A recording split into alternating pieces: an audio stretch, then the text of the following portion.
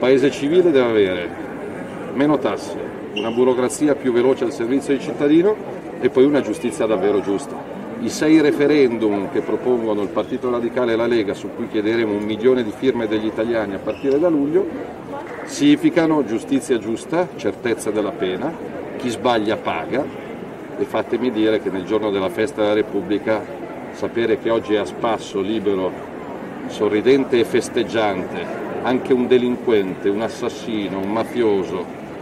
uno spregevole personaggio come Brusca non può essere l'idea di giustizia che abbiamo in testa. Quindi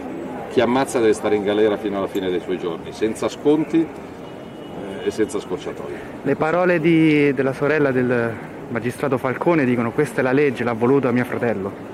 Questa è la legge, diciamo che siamo nel 2021, si può aggiornare la legge, perché chi ha sciolto nell'acido un bambino non può passeggiare libero per Palermo, per Roma o per Milano come se nulla fosse.